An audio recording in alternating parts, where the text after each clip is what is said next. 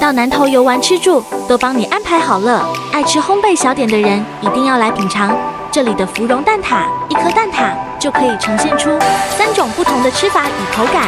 湖里住宿，那不能不提到央之谷温泉民宿，在独立泡汤空间，享受场沐浴山林中的疗之旅，放慢往常紧凑的生活步调，来这好好享受。最顶级的无色无味碳酸泉，既可以滋润身，能够洗涤心灵。下午可以来到咖啡厅，好好的度过悠闲时光。简约温馨的舒适空间，让人融入这个充满温度的环境里。使用店内自烘的豆子煮的手咖啡，有着水果调性的酸甜感。以浓缩咖啡 espresso 加入一点糖及大量冰块制作，自制素食手工包子搭配咖啡享用，超适合。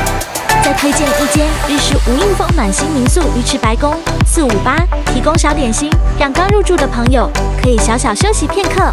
精心挑选的床铺不但厚实，且软硬适中，尽情享受放松惬意的空间，用舒适的住宿结束美好的南投之旅。